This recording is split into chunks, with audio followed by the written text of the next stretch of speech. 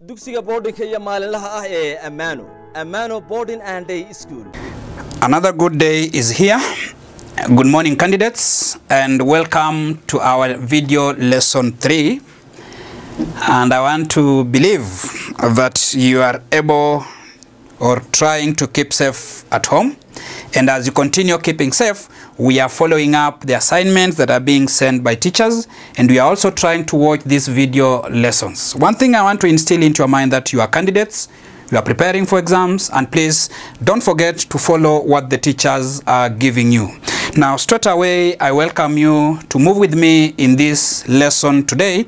This is video number three as per the presentations that you have been following since we began the online video video classes. So, before we come here, let us try to review what we did last time. Now, last time we were trying to look at adverbs, and that was also grammar. And today we also want to concentrate on grammar. So basically, just try to understand what we talked about adverbs and the types of adverbs, and also how to form what adverbs. Because the moment we have that given knowledge of how we are using those given adverbs, then we are able to understand this topic here. We shall be able to understand combining what sentences, because we cannot combine sentences. We understand very well that sentences in English are made up of the different parts of what? Speech. So adverbs are part of it. So we cannot run away from adverbs. We have to understand that given knowledge that we learned in our last lesson so that it helps us to move and look at today's what? Lesson. Now I want to welcome you to this lesson which is what? Combining combining sentences. Now, we can combine two or more sentences into a single sentence. This can be the, the case because sentences are closely related in meaning and belong together and because it's boring to read a series of short sentences that have a similar what? Structure. Let me try to make it easy for you to understand. That in English, we have different types of sentences. We have simple sentences, we have compound sentences, and we have complex what? Sentences. Having looked at these three types of sentences in English, we are saying we can combine what we are calling the simple sentences. We combine them. Instead of trying to read very many sentences at a go, or you read so many sentences, it sounds good that we combine those given sentences into one. And probably that is why we land on a compound sentence, or that's why we land on a complex what? Sentences. And please remember that we cannot again fail to understand the aspect of clauses. When we talk about a clause, a clause is a group of words that has a subject and a verb. And exactly that is what we are calling a what? A sentence. Now, having said this, you can combine two or more. Please concentrate on that. There are two or more. The moment you combine two or more sentences, and then you are moving into something. And I think by this time, it should be sticking into your mind already that simple sentences are being combined into complex what? Sentences or into compound what? Sentences. Compound when there are two, complex when there are more than, more than, more than two. Now, when talking about combining sentences, we often use the word clause, which is a group of words containing a subject and a verb. A sentence that contains only one clause is called a simple sentence. I've actually explained that. A sentence that contains one given clause is called a simple what? It's called a simple sentence. For example, if we talk about Tom played. Tom played. Now, even if we say Tom played the ball, this is a simple sentence. Now, this sentence contains only one clause. And we have said a simple sentence is that one that is containing one subject and a verb. Where is the subject in this given sentence here? The subject is what? Tom. What did Tom do? Tom played. That specifically tells you that even if you delink this part from this given sentence, this sentence up to there still makes sense. It is a simple what? Sentence. So we say Tom Tom played. Tom played is a simple sentence. It's a complete clause. It is one clause because it is having a subject and a what? And a verb. That is what we are calling a simple, a simple sentence. Now, having said that, let's move on and look at the next idea. That how do we combine sentences in English? Now that we know what we are talking about, now that we have an idea, a rough idea of how we are combining these given sentences. Now it sounds good now that we want to look at it. How do we combine these given sentences? The first way of combining sentences is using what? Punctuation. We know what punctuations are in English. We know the punctuation marks in English. And I want to draw your attention that those given punctuation marks in English are the ones that we are talking about. They are those ones that we can use to combine what? Sentences. So that a sentence moves from being a simple sentence into a compound what? Sentence or a simple sentence into a compound sentence into a complex what? Sentence. So we have to move there. So sentences can be combined using special punctuation marks. And we have mostly only three special punctuation marks that help us to combine what? Sentences. And what are they? The first one is a dash. We know what a dash is in English. That is a dash.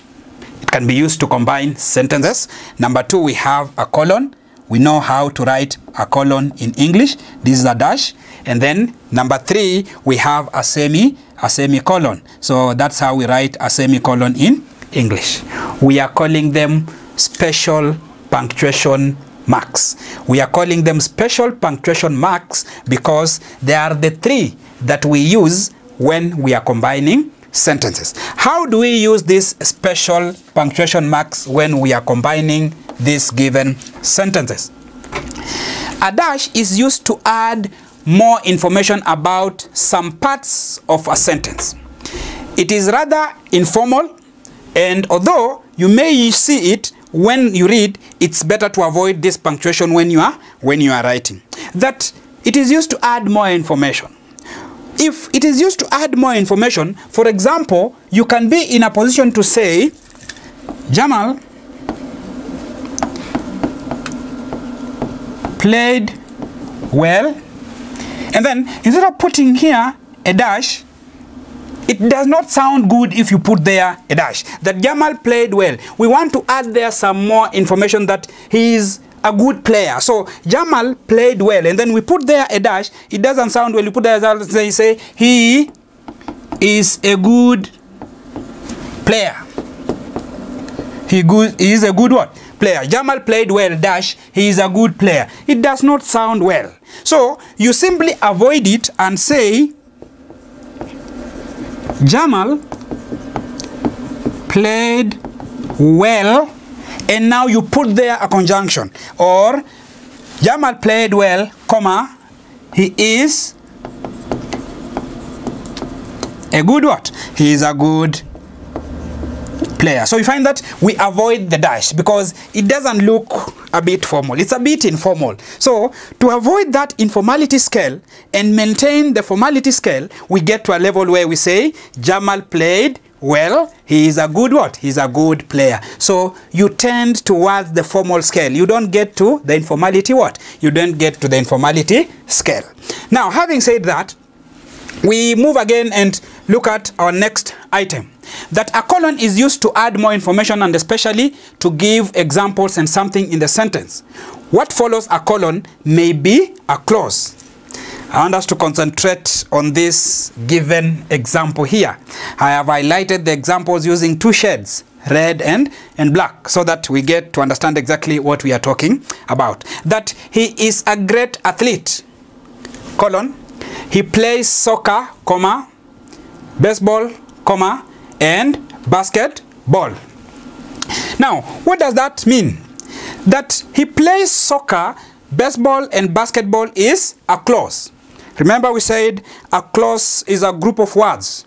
A clause is a full sentence that has a subject and, and a verb. Now, when you look at this particular sentence here, he plays soccer, baseball, and basketball. That one is a clause. It is a clause because it has a subject and, and a verb. So we are saying what follows a colon may be a clause. The word is maybe. It's not a must. Maybe a clause.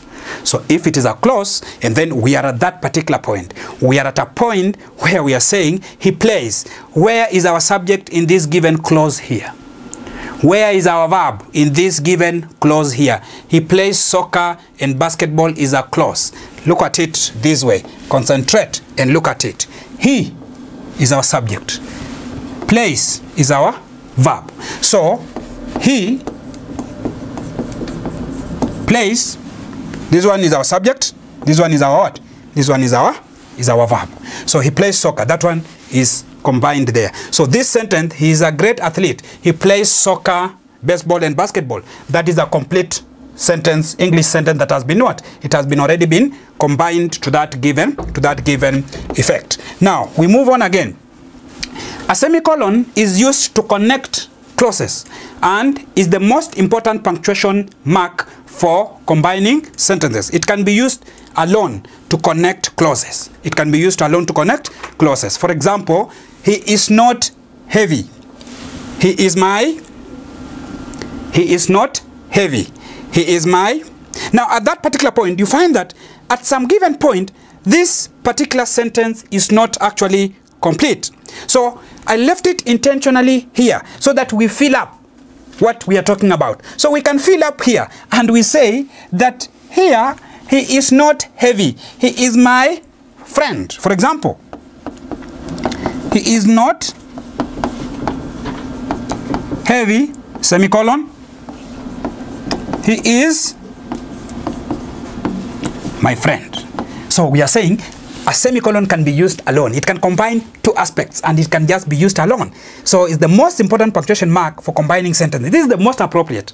In fact, when you are writing paragraphs, it is good to identify the semicolon so that because for them they make sense on their on their own. It doesn't require any other punctuation, any other punctuation mark to be used at that particular point. We move on. Now, it can also be used to connect clauses together with special thinking or rather linking words such as however, moreover, therefore, e.g. conjunctional adverbs I think, therefore, and I am. Now, in the above examples, it's a semicolon and not a conjunctive adverb that connect the what? The clauses. So, in the above example, it is a semicolon and not a conjunctive adverb that connects the what? That connects the clauses. Now, the second aspect is coordination. This is a way of adding sentences together, and in most cases, they are compound sentences in English. And in these cases, the two clauses of sentences are, are combined into equal what? They are combined into equal partners. The combination into equal partners is what we are calling coordination. They coordinate, they move with each other at that particular point. Now, words that connect clauses on this way are called coordinating what? Conjunction. They are coordinating conjunctions because they coordinate amongst themselves. Then, and is used to join clauses that contain additional information, like I bought a ticket and I got onto the onto the bus. So and there has been used as a conjunction. And then or is used to join clauses that combine contain choices or alternatives. You want to choose an alternative. You want to choose a choice. So you say write me a letter or send an or send an email but is used to join clauses that contain opposing ideas. I arrived early but no one was there. So you give the opposite. You arrived there. You thought that you'll find other people there, but you are the, the only one who was there at, at first. So is used to join clauses that contain ideas of cause and effect. E.g., the jacket didn't fit, so I took it back to the to the store. So you use so there. The reason why you took the jacket back to the store was because this jacket did not did not fit you. Three, we have subordination is a way of combining sentences that make one sentence more important than, than the other. In most cases, complex sentences in English take this way of combining the sentences. These are sentences are called, rather, sentences having one main clause and subordinating clause. So, the subordinating clause is the one that tells us the information about the subordinate clause. That subordinate clause is attached into the main clause. So, the main clause makes sense. The subordinate clause does not make what? Does not make sense. Now, one of the sentences being combined is reduced from an independent clause to a dependent clause by adding words such as when, though, if. So subordinating conjunctions or who, what, that, we call them relative pronouns, depending on its function. E.g., I don't know what you are talking about. and then I read the letter that was on your table. So subordinate clause that modifies or gives information about the what? The one I read the letter. Which letter did you read? I read that letter that was on your on your desk. So we have reduction.